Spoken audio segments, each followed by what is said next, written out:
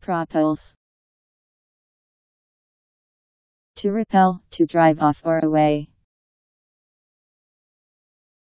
P R O P U L S E.